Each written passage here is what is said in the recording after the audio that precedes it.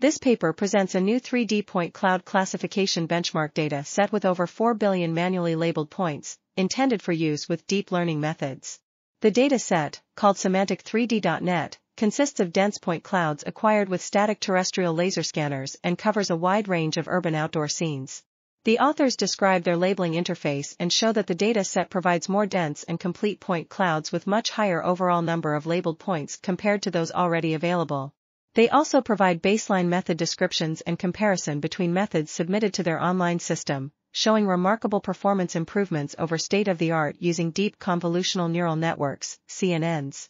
The authors hope that Semantic3D.net will pave the way for deep learning methods in 3D point cloud labeling to learn richer, more general 3D representations.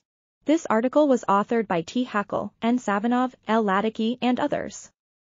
We are RTCL.TV, links in the description below.